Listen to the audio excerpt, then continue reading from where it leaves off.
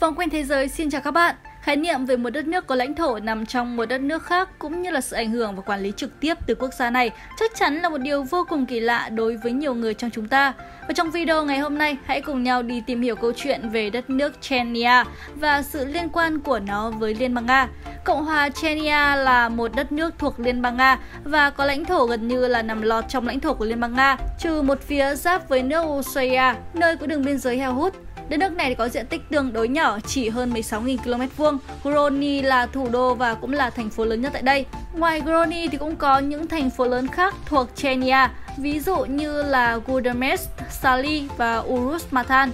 Trước đây thì Chechnya là một thành phần của Liên bang Xô Viết nhưng mà trong thời gian Liên Xô tan rã, chính phủ Chechnya đã vùng dậy và tuyên bố trở thành một đất nước độc lập với cái tên là Cộng hòa Chechnya vào năm 1991. Tuy nhiên là chính sự vùng vẫy lên này đã khiến cho Chechnya rơi vào hai cuộc chiến tranh vô cùng nổi tiếng, kéo dài tới gần một thập kỷ khi mà Nga cố gắng giành lại quyền kiểm soát Chechnya.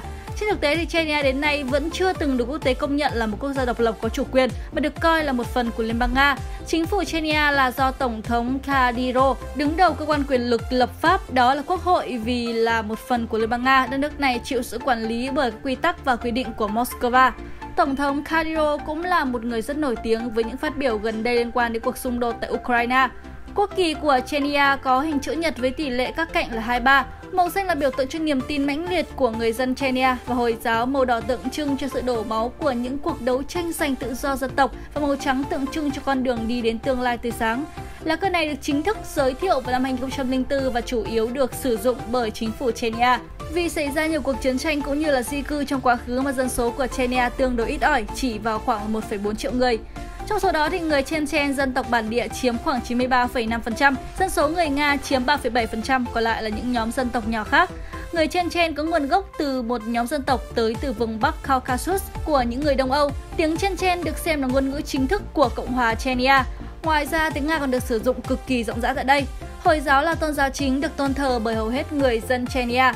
Vâng, Tôn giáo này chính thức thu nhập vào Chania giai đoạn từ thế kỷ thứ 16 đến thế kỷ thứ 19. Trước khi mà xuất hiện đạo hồi thì người Chania đã thực hiện nhiều tín ngưỡng và truyền thống khác nhau. Ví dụ như là họ tham gia vào các nghi lễ như là nghi lễ cầu mưa, ngày của thần sấm sét và ngày của những vị thần khác. Văn hóa Chania được nuôi dưỡng tất cả người dân nơi đây một tính cách rất đáng ngưỡng mộ, đó là ý thức dân tộc mạnh mẽ. Ngoài động vật của quốc gia này, loài động vật biểu trưng đó chính là chó sói. Nó xuất phát từ niềm tin của người Chania rằng tự do và bình đẳng như loài sói, bản chất đề cao và coi trọng sự tự do, thậm chí là có thể được nhìn thấy trong các hoạt động thường ngày của người Chenia, chẳng hạn như là một câu chào đơn giản có nghĩa là bước vào tự do. Một sự thật bất ngờ khi mà nằm lọt trong lãnh thổ của một liên bang Nga đang phải đau đầu với những vấn đề dân số già. Chechnya là một nước có dân số trẻ với tuổi trung bình của người dân chỉ là 22,7 tuổi, tức là U23. Về kinh tế thì Chechnya là một trong những khu vực có GDP bình quân đầu người thấp nhất Liên bang Nga với con số là 5.023 đô la Mỹ một người một năm. Nhưng mà so với nhiều quốc gia vùng lãnh thổ khác thì đây vẫn là một con số tốt. Nguồn thu chính của đất nước là dầu mỏ và nền kinh tế dựa trên cơ sở của một số ngành như là năng lượng, chế tạo máy, công nghiệp, chế biến nông sản, du lịch, vật liệu xây dựng hay là giáo dục và y tế. Chechnya thì có vị trí địa chính trị rất quan trọng của cả một tuyến đường xuyên Kaka và là tâm điểm nối các vùng, các quốc gia trong và ngoài Liên bang Nga. Nói đến Chechnya sẽ nói đến thành phố Grozny. Grozny là thành phố lớn nhất và đồng thời cũng là thủ đô của Chechnya. Tuy nhiên là dân số các thành phố này chưa đến 300.000 người. Nếu trong quá khứ thủ đô Grozny hay được nhắc đến là một điểm nóng bạo lực, xung đột và chiến tranh thì ngày nay với sự nỗ lực xây dựng của người dân và chính phủ Chechnya, không khí hòa bình đã bao trùm lên toàn bộ thành phố. Trên thực tế thì thủ đô Grozny đã từng được bình chọn là thành phố an toàn nhất của Liên bang Nga vào năm 2016. Tổng thống Chechnya đã và đang thực hiện rất nhiều biện pháp chống lại các hoạt động khủng bố như liên tục tuần tra các tuyến phố trong thành phố để mà ngăn chặn mọi sự tấn công. Và đến nay thì gần như là mọi cuộc bạo loạn trong thành phố đều được dẹp bỏ. Lịch sử Chechnya thì gắn liền với hai cuộc chiến vô cùng nổi tiếng. Cuộc chiến Chechnya lần thứ nhất xảy ra từ năm 1994 đến năm 1996.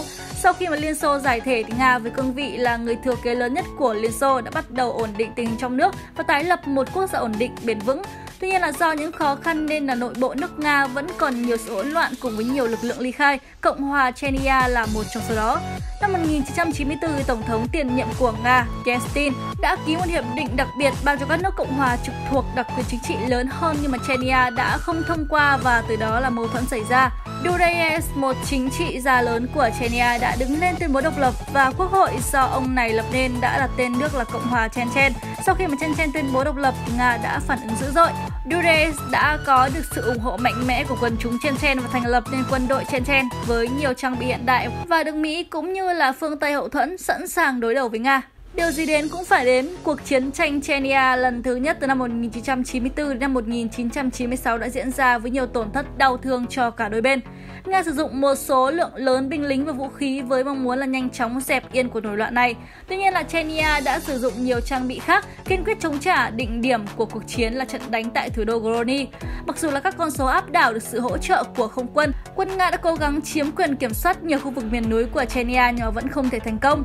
Cùng với đó là cuộc chiến cũng được tiến hành trong địa hình đường phố, không gian do các kiến trúc tương đối nhỏ hẹp.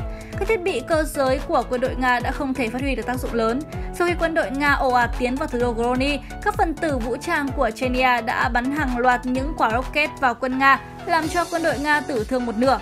Sau nhiều giờ chiến đấu, chỉ có vài chục người cho hàng ngàn binh lính cơ giới của Nga may mắn trốn thoát được, số còn lại đã hy sinh trong thành phố. Đáng chú ý là lực lượng của Chechnya đã kéo những thi thể binh lính Nga để cổng thành và dựng họ thành một bức tường thi thể để chống lại những cuộc tấn công của quân đội Nga. Đối mặt với tình huống này, chỉ huy lực lượng Nga khi đó không có biện pháp giải quyết và nhanh chóng báo cáo với cấp trên. Sau khi Tổng thống Nga nhận được thông tin đã phải gạt nước mắt mà hạ lệnh trực tiếp tấn công, phá hủy bức tường đẫm máu này để mở đường cho bộ binh tiếp tục tiến vào thành phố. Cuối cùng là vào năm 1996, chính phủ Nga tuyên bố một thỏa thuận ngừng bắn và một hiệp ước hòa bình được ký kết một năm sau đó. Sau khi kết thúc cuộc chiến thứ nhất, nhà lãnh đạo Chechnya thời điểm bấy giờ là Dudayev đã liên tục triển khai những hành động thanh trừng chủng tộc, loại bỏ những người không phải là người Chechnya trong khu vực và những người được coi là phản đồ của Chechnya. Điều đó khiến cho mối quan hệ giữa Nga và Chechnya càng thêm xấu đi. Các lực lượng vũ trang tại Chechnya cũng liên tục tiến hành những hoạt động tấn công ở trong và ngoài khu vực Chechnya.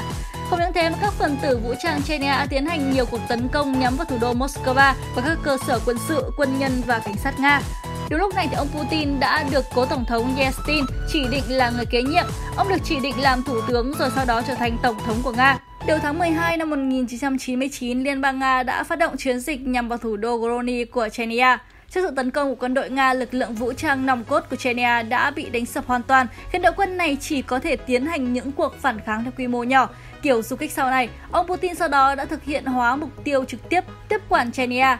Vậy tại sao Liên bang Nga lại quyết tâm với một vùng lãnh thổ không phải là lớn như Chechnya nếu như là không muốn nói là nhỏ bé?